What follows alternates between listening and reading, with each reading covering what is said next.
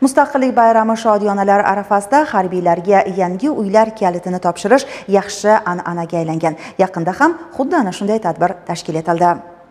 eng muqaddas bayramimiz Mustaqillik bayrami arafasida Buxoro harbiy garnizonidagi kuch tuzilmalarida xizmat qilayotgan 51 nafar harbiy xizmatchiga yangi va zamonaviy uslubda barpo qilingan uy-joylar foydalanishga topshirildi. O'z navbatida harbiy xizmatchilarning oila a'zolari prezidentimiz tomonidan ularga yaratilgan keng imkoniyatlar, ko'rsatilayotgan e'zozdan juda minnatdor ekanliklarini bayon etishdi.